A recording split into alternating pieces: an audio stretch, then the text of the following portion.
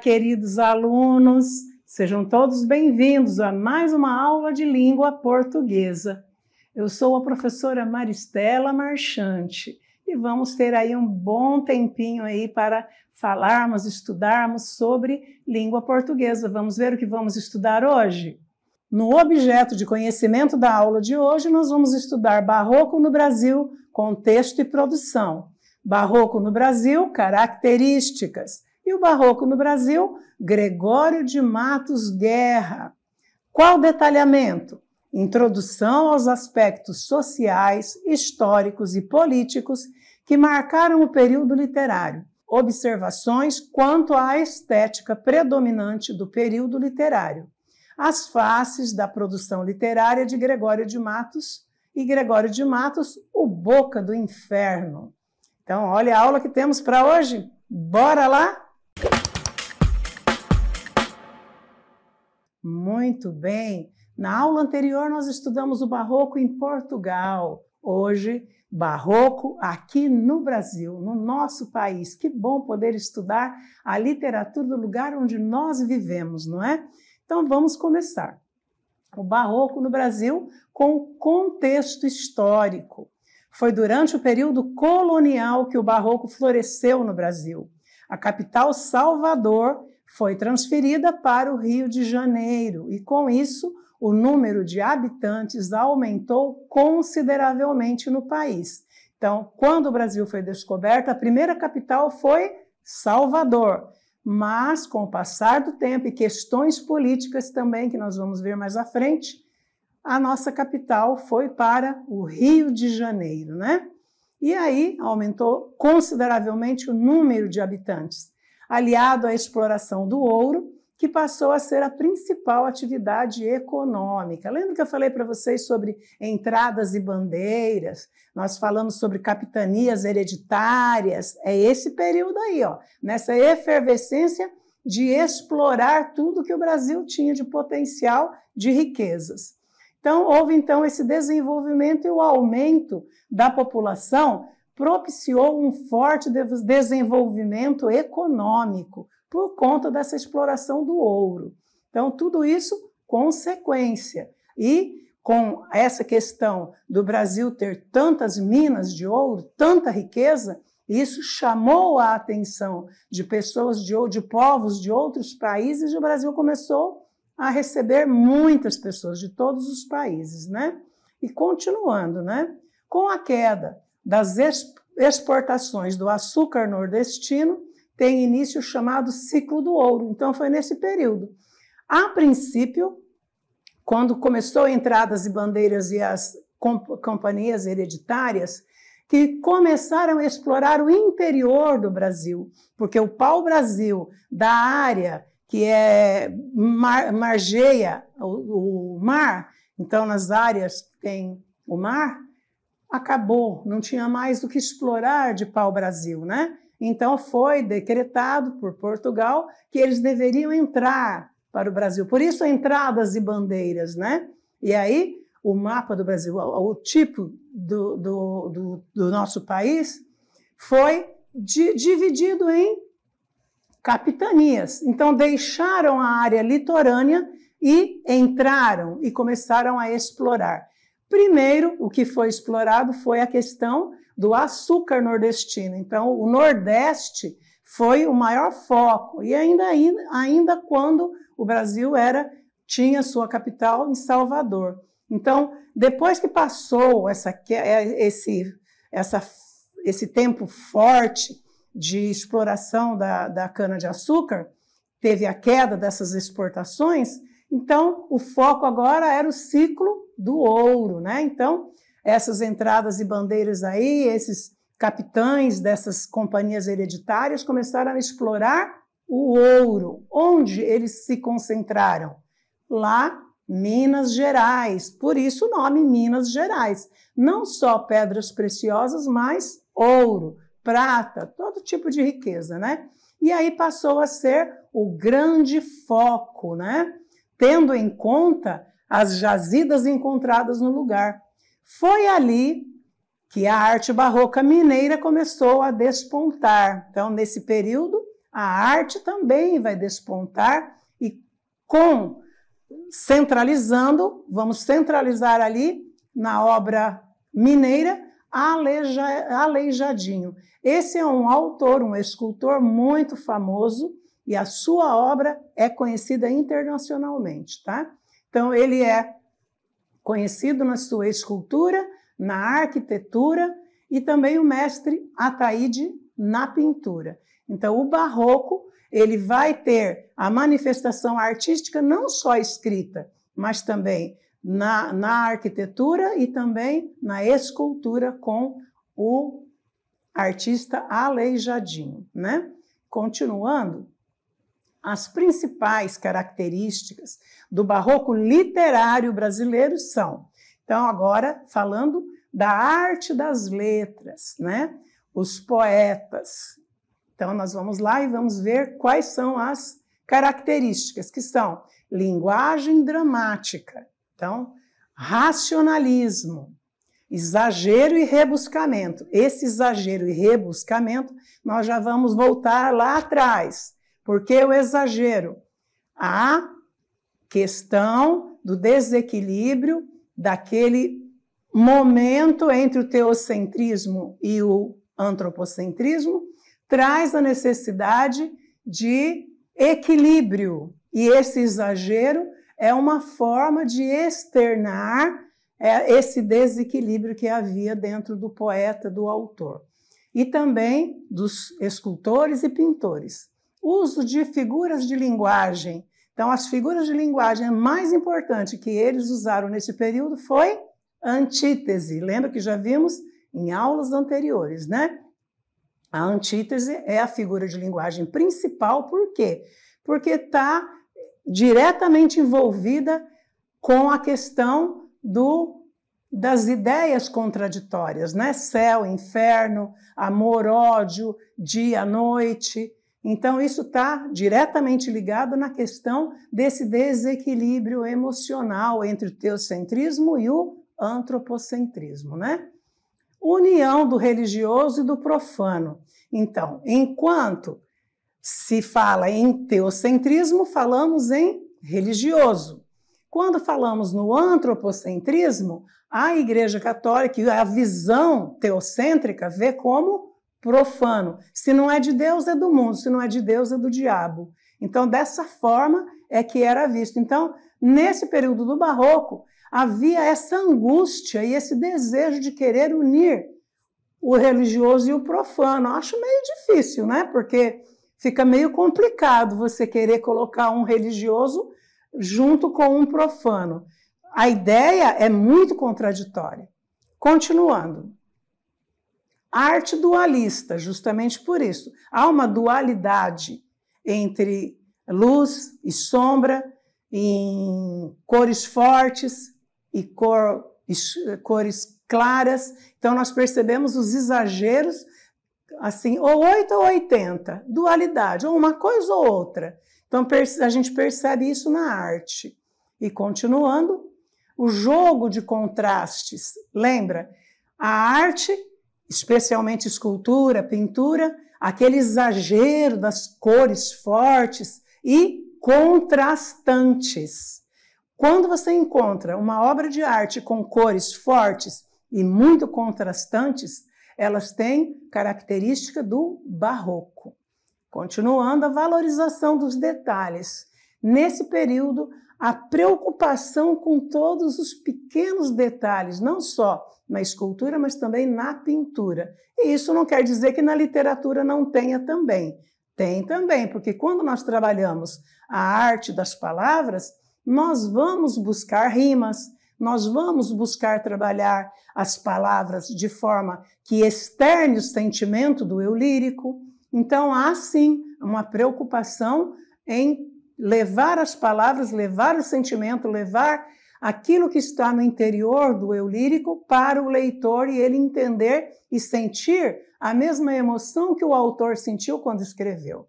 Né? Então, existe essa preocupação da valorização dos detalhes. Tem mais. Cultismo. Lembra na aula anterior que nós falamos sobre cultismo? Que é o jogo de palavras, muita figura de linguagem, muitos jogos, jogos de palavras com dualidades, com sentidos duplos, né? E também o conceptismo, que é o jogo de ideias que vem, primeiro vem com a antítese e o segundo com paradoxo. O que é um paradoxo? Quando eu digo o amor arde, é, é, é dor que arde sem se ver, é, é ferida que dói e não se sente. Percebe? É de Camões, lá do classicismo. E tem muito aí cultismo e conceptismo, que é o jogo de palavras, é o paradoxo. São ideias que não conseguem entrar em harmonia. É uma dor que dói e não se sente. Então, há aí uma, um paradoxo, né? São ideias contrárias. Já a antítese são palavras de sentidos diferentes: céu, inferno, é, amor, ódio, tá bom? Continuando. Os principais autores e obras escritas no Brasil são: temos aí Bento Teixeira, nascido no Porto, em Portugal, Bento Teixeira é o autor da obra Prosopopeia. Então, a obra Prosopopeia é a obra que dá início ao período barroco aqui no Brasil, tá? Então, lembra sempre, quando começou o barroco no Brasil? Qual obra marca o início do barroco no Brasil? A obra Prosopopeia de 1601 de Bento Teixeira. Esse poema, ele é um poema épico e nós já estudamos o que é um poema épico, né?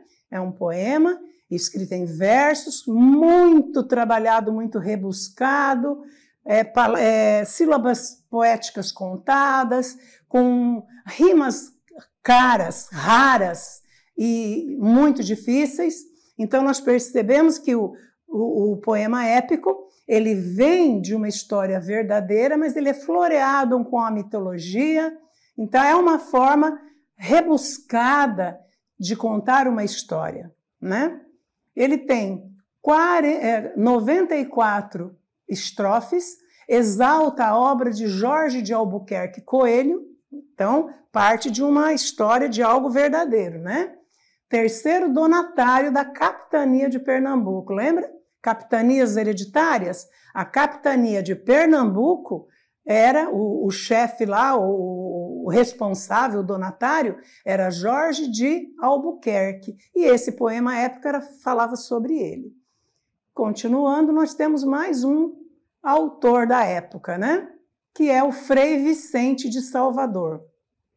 Nascido próximo da, da capital baiana, Frei Vicente de Salvador foi historiográfico, historiógrafo e o primeiro prosador do país. Que é um prosador? Alguém que escreve em prosa. Então só existe dois tipos de texto: ou ele é escrito em prosa, ou ele é escrito em verso. Se ele é escrito em verso, eu tenho um poema. Se ele é escrito em prosa, eu tenho vários tipos de texto que é escrito em prosa. E os textos do Frei, Frei Vicente de Salvador era escrito em prosa, e ele é o primeiro que tem, tem que se tem notícia que é um prosador na época. Teólogo de formação, estudou na Universidade de Coimbra e de volta ao Brasil, ele exerceu os cargos de cônego, vigário e franciscano. Então ele estava envolvido com a igreja, né? De, suas, de sua obra destacam-se História do Brasil e História da Custódia de Brasil. Então, essa história da custódia do Brasil é relacionada à história do Brasil ser colônia de Portugal, ok? E temos mais um autor desse período na nossa literatura barroca, que é o mais famoso, Gregório de Matos. Nascido em Salvador, Gregório de Matos foi um dos maiores representantes da literatura barroca no Brasil. Sua obra reúne mais de 700 textos de poemas líricos, satíricos, eróticos e religiosos. Então, é uma obra muito vasta, né? Parte de suas poesias ironizava diversos aspectos da sociedade e por isso ficou conhecido como Boca do Inferno. Quando alguém perguntar para você quem é o poeta que tem a alcunha de Boca do Inferno, Gregório de Matos. Vamos mais? Gregório de Matos é, nasceu na então capital do Brasil, Salvador, Bahia, em 20 de dezembro de 1636 e faleceu no Recife, Pernambuco, em 1695. É o patrono da cadeira número 16 da Academia Brasileira de Letras.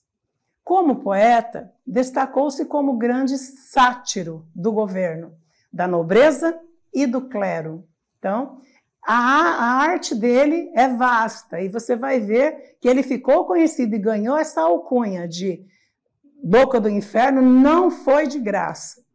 De sua crítica não escaparam os padres corruptos, os degradados, os mulatos e emboabas, os caramurus, os indígenas da época, os arrivistas e os novos ricos de toda uma burguesia explorada pela colônia. Então, ninguém escapou, escapou à sátira, ao comentário e à forma como ele satirizava mesmo e criticava toda a sociedade todas as camadas da sociedade, né?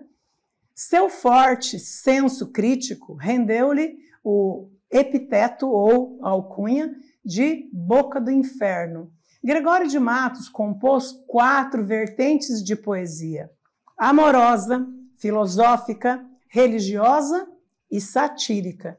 Então, nós vemos aí que ele tinha uma capacidade incrível, não só de falar de amor, mas também da questão de colocar aquilo que ele pensava, o posicionamento dele a respeito do que ele pensava a respeito da igreja, dos políticos, das pessoas ricas que estavam vivendo ali naquele momento.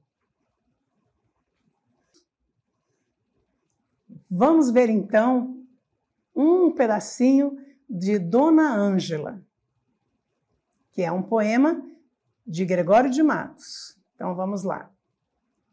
Anjo no nome, angélica na cara. Isso é ser flor e anjo juntamente. Ser angélica flor e anjo florente. Em quem, senão em vós, se uniformara? Quem veria uma flor que a não cortara? De verde pé, de rama florescente, e quem um anjo vira tão luzente que por seu Deus o não idolatrara? Se como anjo sois dos meus altares, foreis o meu custódio e minha guarda, livrara eu de diabólicos azares. Mas vejo que tão bela e tão galharda posto que os anjos nunca dão pesares, sois anjo que me tenta e não me guarda. Como é lindo esse poema, né?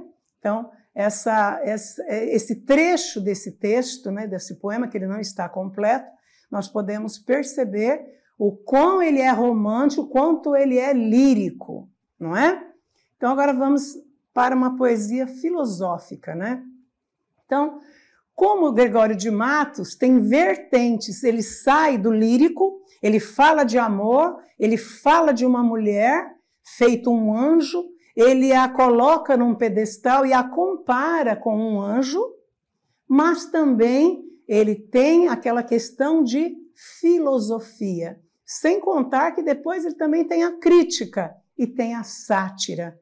Perfeito, ele é perfeito. Vamos então ver um trecho de uma, de uma obra dele, que é A Inconstância. Inconstância das coisas do mundo. Nasce o sol e não dura mais que um dia. Depois da luz se segue a noite escura. Em tristes sombras morre a formosura, em contínuas tristezas e alegria. Porém, se acaba o sol, por que nascia? Se é tão formosa a luz, por que não dura? Como a beleza assim se transfigura? como o gosto da pena assim se fia. Mas no sol e na luz falta firmeza. Na formosura não se dê constância e na alegria sinta-se a tristeza. Começa o mundo, enfim, pela ignorância e tem qualquer dos bens por natureza. A firmeza somente na inconstância. Viram? Há firmeza somente na inconstância. Vocês perceberam o jogo de palavras?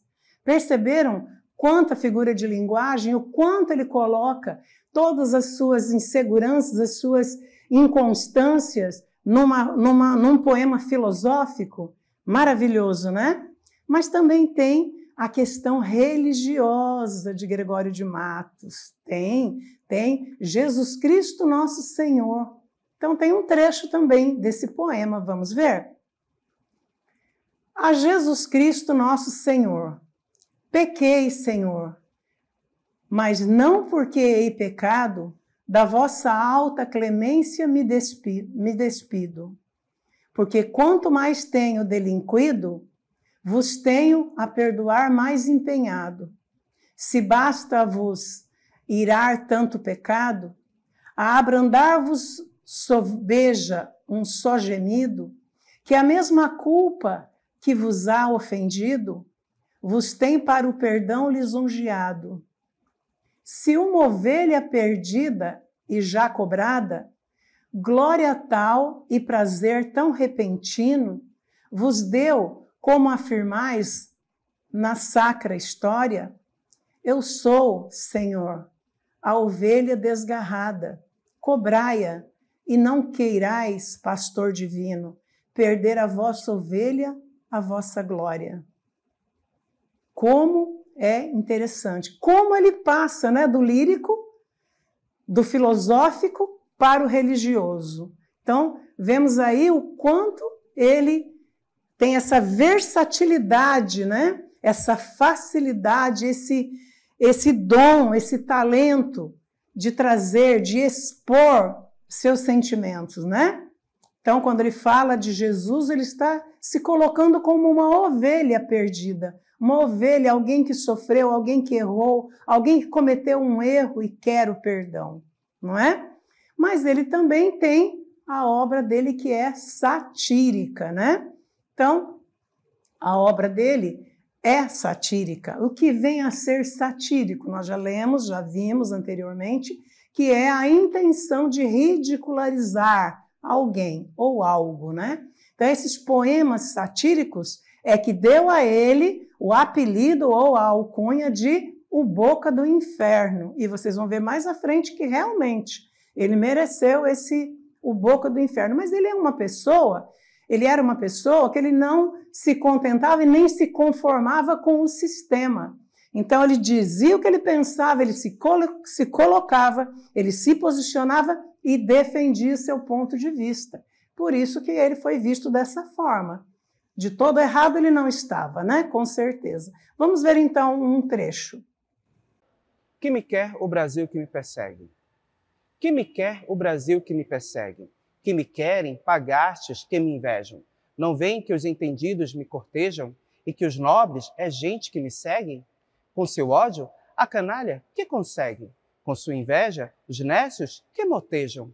Se quando os nécios por meu mal mourejam, fazem os sábios que a meu mal me entreguem. Isto posto, ignorantes e canalha, se ficam por canalha e ignorantes, no sol das bestas a roerem a palha, e se os senhores nobres e elegantes não querem que o soneto vá de valha, não vá, que tem terríveis consoantes. Muito bem! Vocês viram? Gregório de Matos tinha, assim, a delicadeza, a sutileza de falar o que ele queria. E ele falava, seja liricamente, seja filosoficamente, seja religiosamente ou satiricamente ele falava, né?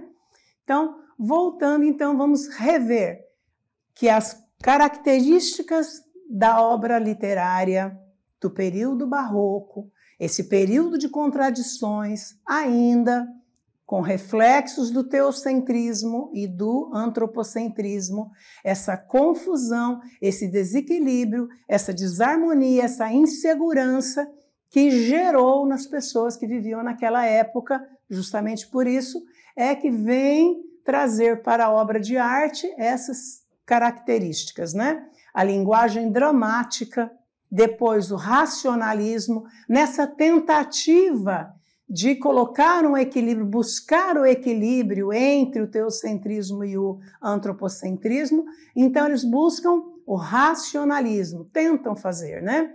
Exagero e rebuscamento. O exagero na questão das cores, na questão da, da, da escrita, como vocês viram, as obras do Gregório de Matos.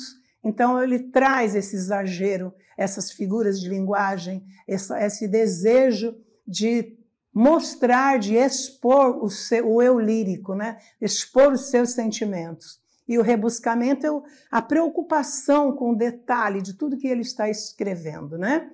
A união também é o uso de figuras de linguagem. as figuras de linguagem estavam presentes, vocês viram. Mas a mais importante que vocês viram também na obra dele filosófica é esse essa questão do da, da, da, da figura de linguagem antítese, né? A inconstância das coisas, a inconstância do ser. Por que, que tem o sol? Se acabou o sol, por que, que nasceu? Então, é uma filosofia aí tentando entender o porquê das coisas naquele período, né? Então, as figuras de linguagem muito presentes e também a questão religiosa, né? Eles tentando unir o religioso e o profano, ainda nessa tentativa de buscar o equilíbrio entre o teocentrismo e o antropocentrismo, né? Depois nós vimos também a arte dualista por causa desse, dessa questão. O fundamental, o foco era essa questão entre buscar esse equilíbrio, mas estava sempre em desequilíbrio, né? Também o jogo de contrastes. O jogo de contraste nós vamos ver na literatura, nós vamos ver nas cores e também da, da arte, das artes plásticas e também na arquitetura e na obra de Aleijadinho. Aleijadinho foi um, um escultor muito famoso, mineiro, muito famoso. Ele tinha o nome de aleijadinho, ele tinha alcunha de aleijadinho porque ele teve hanseníase, ou uma doença degenerativa que ele perdeu os dedos. Então, ele amarrava panos na mão para poder fazer as suas esculturas, por isso ele ficou chamado, é, conhecido como aleijadinho. As obras dele são muito famosas lá em Minas Gerais, inclusive ele fez em tamanho normal os doze apóstolos na entrada de uma igreja lá em Minas Gerais. Então ele é famosíssimo, aleijadinho. Então o jogo de contrastes estão na literatura, nas palavras, está na arte de aleijadinho, está também na, na, na arquitetura, que nós vemos com o estilo barroco. Ele tem muitas, muitas torres voltadas para o céu e ele tem contrastes de cores e de detalhes, né? Tem o cultismo e também valorização dos detalhes, e tem o cultismo, que é o jogo de palavras, e o conceptismo, que é o jogo de ideias. Espero que vocês tenham gostado da nossa aula de hoje, tenham entendido e tenham gostado de saber que no período barroco no Brasil também foi um, um período de bastante efervescência, tanto economicamente como politicamente e também na produção artística, que foi rica, muito rica. Podem pesquisar que vocês vão ter conhecimento de muita obra de arte desse período, especialmente Minas Gerais, ok? Então, espero que tenham gostado e até a próxima.